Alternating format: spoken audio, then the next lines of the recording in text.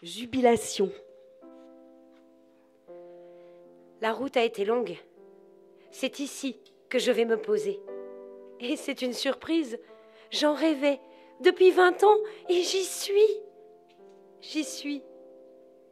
Combien de fois me suis-je baignée en m'offrant ces villas en bord de mer au rayol canadelle, choisissant du bout de l'index ma préférée, la Pompéienne. Combien de fois ai-je croisé l'ombre de Thérèse dans les jardins du Rayol Combien de fois ai-je imaginé rencontrer Sacha Distel, Monsieur Charme, rayonnant en blanc avant sa partie de tennis?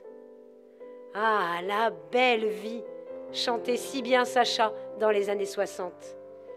Une parfaite toile de fond musicale pour illustrer cette belle époque du Rayol à Saint-Tropez et retrouver l'esprit des fêtes estivales, du Morin des Morts, cœur battant du village, jusqu'aux villas. Un tourbillon d'insouciance. Se réveiller le matin avec une telle vue est un luxe absolu. Et j'apprécie chaque instant, chaque jour, chaque heure.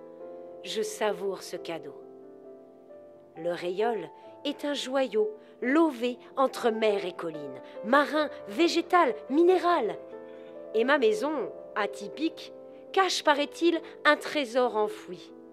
Par un vieil homme étrange Par des hippies squatteurs Des lingots d'or Un trésor de pirate ou celui de Picsou?